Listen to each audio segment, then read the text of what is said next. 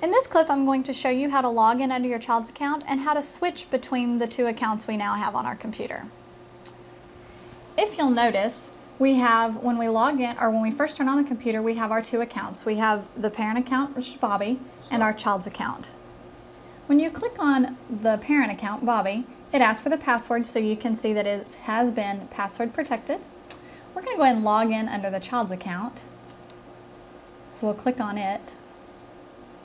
And it doesn't have a password, so as soon as we clicked on it, the new screen pops up.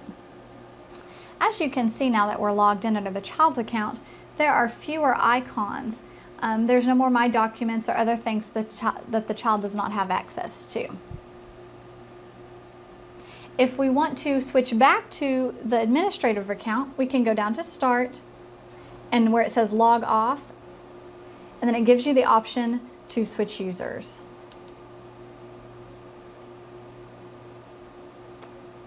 This is going to take us back to our main screen where we can now log into the administrative account.